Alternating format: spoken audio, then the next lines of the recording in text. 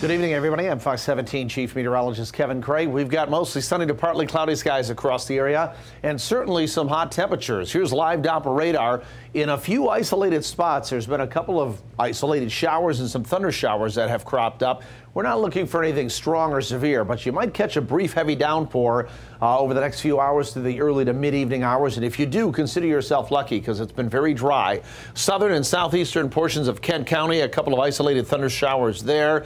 Southern portions of Barry County have a couple of isolated showers there. And then one lone thunder shower down here across our southern counties, right on the border of uh, Cass and St. Joseph County, and a couple of small showers starting to pop up in east central portions of Newaygo County. So they are not widespread, but the chance at picking something up, especially along and east of US 131 over the next couple of hours, will be there. Otherwise, we'll have that same chance or that same threat tomorrow. Most of us will miss out on it, but an isolated shower or thunder shower can't be ruled out even on Monday afternoon. Here's our temperatures right now. That shower and the outflow from that shower has actually knocked our temperature down in Grand Rapids. We were up around 90 and you can see the cooler air that has flowed out from that uh, thunder shower has dropped us into the upper 70s. We're 89 right now in Kalamazoo, 91 in Three Rivers. Most of us hit that 90 degree mark again. And as we head through the evening and the overnight hours, again, that chance of a shower or thunder shower in there through the early to mid evening.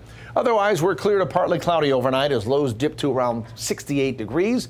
And the next three days of our seven day forecast, the heat wave continues. Temperatures 90 degrees or better. An isolated PM shower will be possible, especially inland locations on Monday. 92 on Tuesday. A little bit better chance of maybe a few more isolated to scattered showers and thunderstorms, but still probably not very good coverage. Then we're dry on Wednesday. We'll finally see a break in the heat. I think as we get into the weekend, we'll pull those temperatures back into the mid 80s, and our best chance of some showers and thunderstorms comes in here, it looks like on Friday. We'll talk more about that part of the forecast coming up tonight on Fox 17 News at 10 and 11.